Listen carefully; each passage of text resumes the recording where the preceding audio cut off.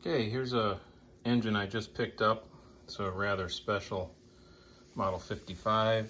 We just got steam up.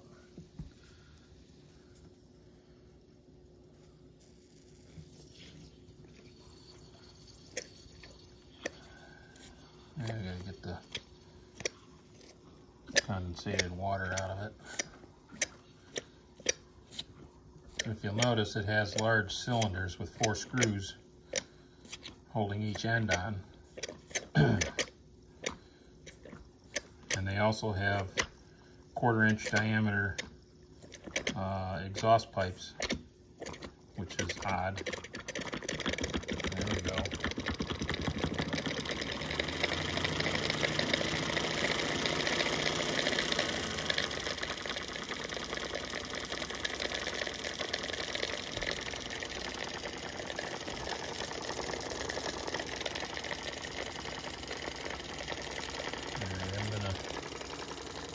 Turn the variac down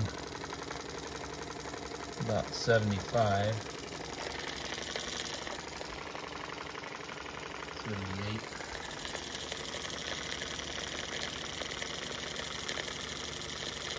Runs beautifully.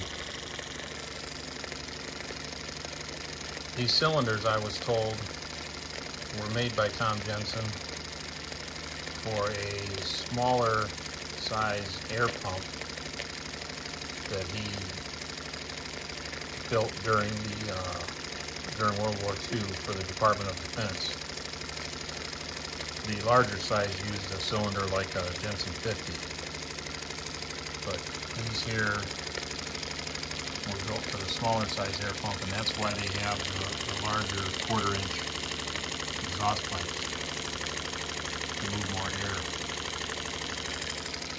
This is a regular 55 over here with the 3 16 diameter exhaust pipes and the uh, normal cylinders. They're 5 8 OD. These are 1 inch OD.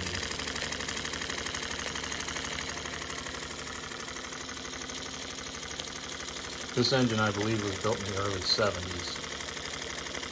I actually have another 55 that is, dated 1975 and uh, very very similar. This this one I believe is just a little bit earlier because it has the black rubber cord with the old-fashioned plug on it.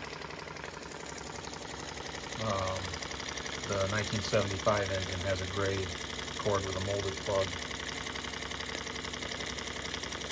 but everything else is pretty much the same. Same plywood base, same boiler with the convex end on it.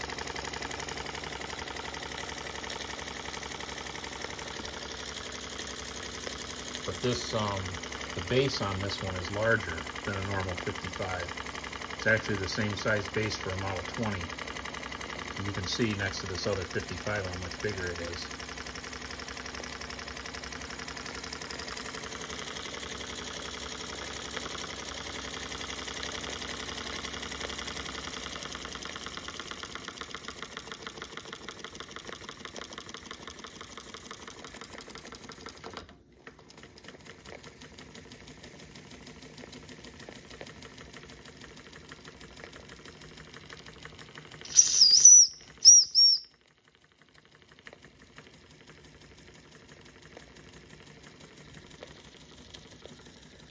And this 55 over here, which I have out here just for comparison, um, I believe this was built in the early 60s. It has the copper uh, brick embossed firebox, but it's still made the same way the uh, black painted ones were, were built, with this opening and the spot welded piece across the end. The boiler is flat faced, and the boiler is, is uh, polished, where at some point they started using kind of a kind of a brushed looking finish. Um, this engine here is kind of unusual also, and I, and I don't think it was pieced together by somebody. I think it came from the factory this way. Probably Tom Jensen just using up old parts. Um, with the blue painted base, it also has the earlier whistle and throttle handles, but it has a contoured handle on the reverser. So it may not have been built in the early 60s. It could have been built later, but thrown together with old parts. And the uh, the blocks on the ends of the steam lines on, you know, attached to the uh, valve chest have the hole drilled in them for the old, earlier style reversing lever. So this, this reversing lever is the later style, which is the same as on this one. But the earlier ones had a handle in the center with a rod going between those two holes that are drilled. And also the, the pulley groove in the center of the flywheel is kind of a later uh, thing that he did.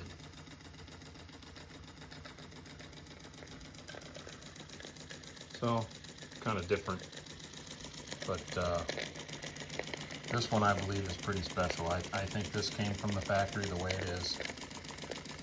I think it was either one of Tom Jensen's experiments or he just had some of these cylinders left over from way back when and the Department of Defense didn't need them and he had made extras and they were just laying around so he decided to fool around and see if he could make this work or just using them up to put an engine together. He was very frugal so it's definitely a possibility.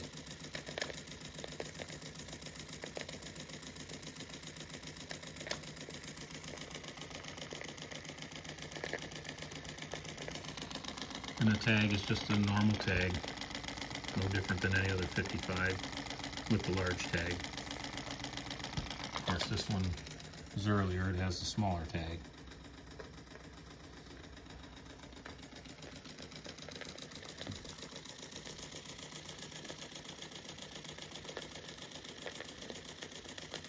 Well, we may never know the true origins of this engine, but we can all speculate, and I have my theories, and other collectors will have their theories, and we'll probably never know the the actual story behind it, but that's what makes collecting Jensens so interesting. And that's what keeps me chasing after them.